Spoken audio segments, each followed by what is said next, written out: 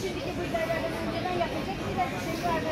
Böyle kocaman parmak gibi sarı buğdaylar vardı yapardık. Onlar yok ki şimdi. Şimdiki ya buğdaylar böyle oldu. Ama gene beyaz oldu.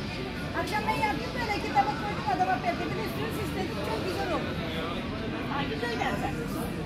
Ben şarkı Musal'da